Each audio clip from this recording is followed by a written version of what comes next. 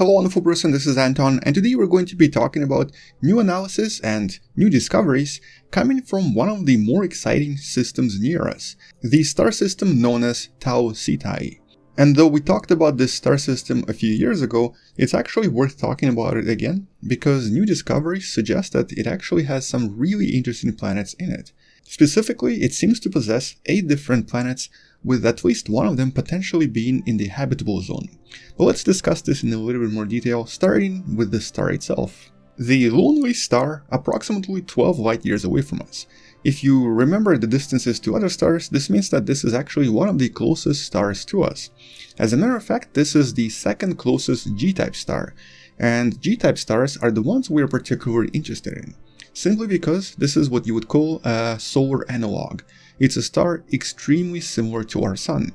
at least in terms of the amount of energy it produces. Here's for example how it compares to our own Sun, with the Sun being on the left. So it is a little bit smaller, it's about 78% of the total mass of the Sun. It also seems to produce about half of the luminosity of our Sun, but in terms of the age, it's relatively similar, it's about 5.8 billion years old, although it does seem to only contain about one third of metallicity of our own sun, which of course implies that it's mostly made out of hydrogen and helium and a lot less of other materials,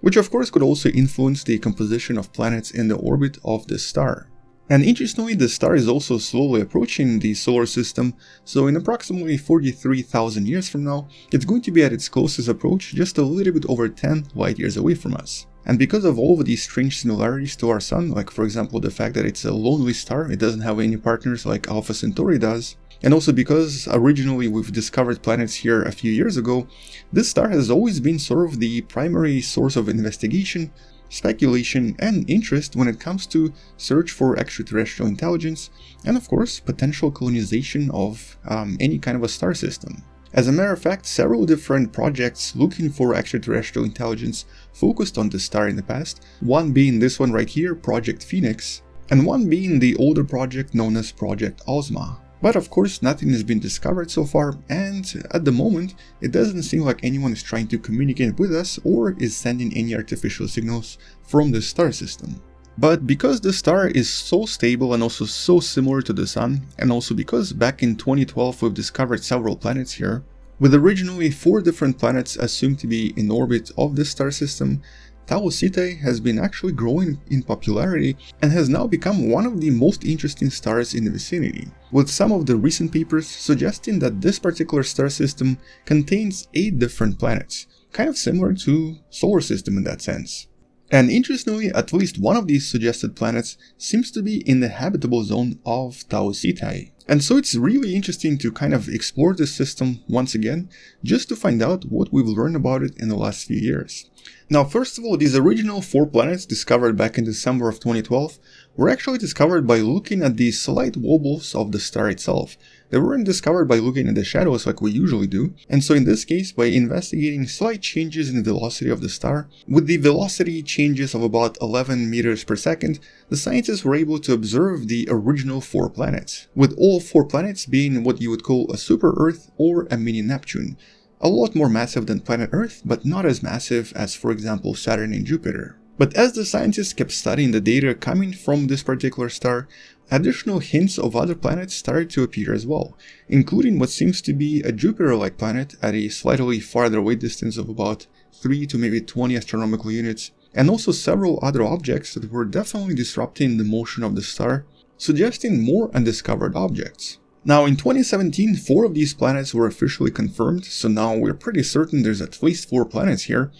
but the other four were only recently identified, and this was actually using a completely new mathematical algorithm known as dynamite for short, the study about which you can find in the description below. And what this particular algorithm allows us to do now is to use statistical analysis from other discoveries to try to predict the existence of other potential planets in a typical star system by knowing which planets already exist and how they would most likely interact with nearby planets. All of this of course is based on thousands of other objects we've discovered so far, and all of the other planetary interactions we've collected over the past few decades. And so using the dynamite algorithm, the scientists behind the paper in the description were able to find out the most likely locations of four other objects that are most likely present here, and one of these objects seems to be right in the middle of the habitable zone at a distance of about 0.7 astronomical units away from the center of the star. So basically somewhere right here.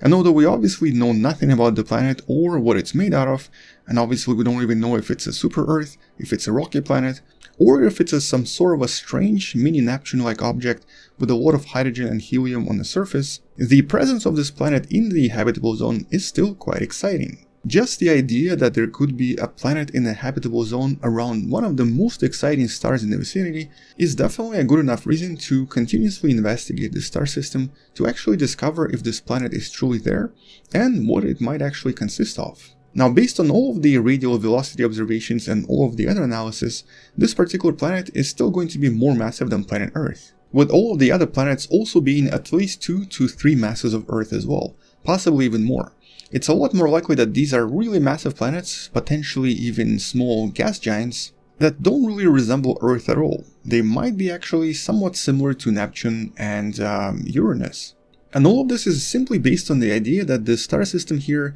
has very low metallicity. It doesn't really have as much silicon, as much iron, it doesn't have as many materials to make these terrestrial planets like what we have here in the solar system. But because we're still learning about how star systems are created and how planets form, all of this could be completely wrong. We could end up finding some really exciting planets here. Which is why, of course, it's kind of important to investigate the system when the new telescopes become available. However, one interesting difference about Tau Ceti compared to the solar system is that it also seems to possess about 10 times more dust and obviously more asteroids and possibly more comets than the solar system. This also implies that various impact events would be a lot more common on these planets. Now this might not mean anything, but it also could mean everything. It could mean that life might not actually have a chance to establish itself here. And at the same time, kind of similar to the asteroid belt around the solar system, the Tau Ceti system also seems to have a really large debris disk as well. And although seeing these disks is actually kind of common around other star systems,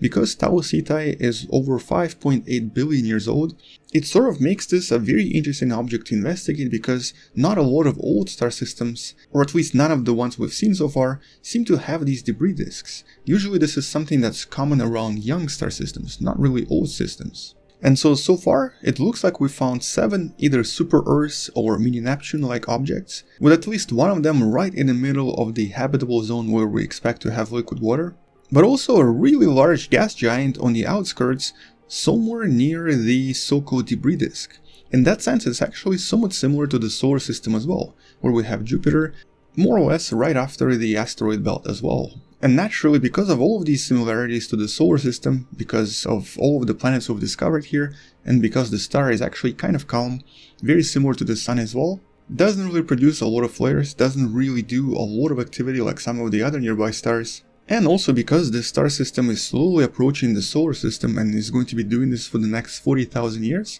this is obviously one of the most exciting star systems we have near us both for the reasons of potential exploration, for the reasons of potential life here, and also because by studying these solar analogs, we might actually understand a lot more about how various star systems form, and obviously start looking for signs of potential life around these planets as well. If life can exist anywhere, it's probably going to exist here. And if life doesn't exist here, well in that case it's probably something to do with that other video I made recently that does speculate that life on Earth might have been just really really lucky. You can check it out somewhere above my head. But anyway, until we actually confirm the existence of these planets with some of the future observations, and until we actually know what they're made out of, and what sort of composition they have, there's really nothing else we can do for now. These predictions are still very preliminary, but having another star system with 8 planets is actually kind of exciting. Either way, it's very likely we're going to be returning to Tau Ceti once a new study comes out, either proving or disproving these findings, and also we're probably going to be talking about this once we actually get more observations from other telescopes, like the James Webb Telescope that's going to become operational relatively soon. Until then, well, that's pretty much it. Subscribe if you still haven't, share this with someone who loves learning about space and sciences, maybe come back tomorrow to learn something else. Also, maybe support this channel on Patreon or by buying the Wonderful Person t-shirt you can find in the description below. Either way, I'll see you tomorrow, space out, and as always, bye bye.